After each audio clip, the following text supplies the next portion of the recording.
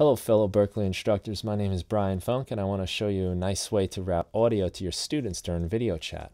Now I like to route my DAW, which is Ableton Live, and my microphone to my students, but I need to be able to hear Ableton Live and not my microphone. Sometimes the microphone creates strange delays and it can be kind of hard to talk over that.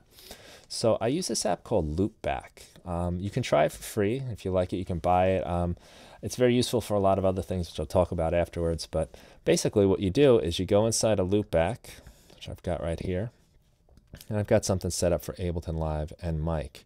And basically, all you do is you select the apps you want to have or the input audio input devices.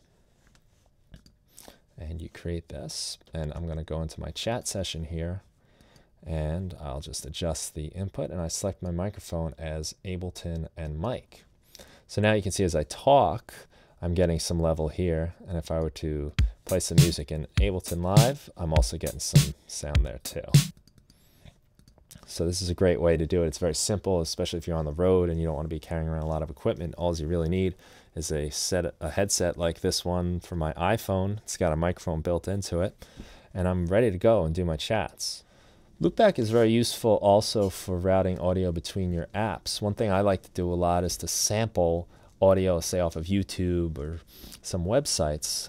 Um, what I can do is I can create a virtual device here and I can select, say, Safari or whichever app I want to listen to. And then I can select that input inside of Ableton Live or whichever your DAW is and record that directly in there.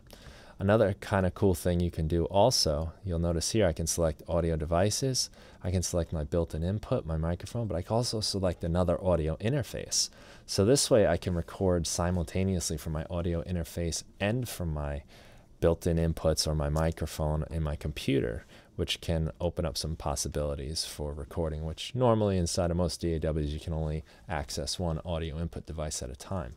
So it's called Loopback. Like I said, you can try it for free. It's about uh, $70, I believe, but I'm really happy with it. It's worked out great for me and it's helped me get my chats done, even if I'm on the road. So I hope that helps. Thanks. Take care.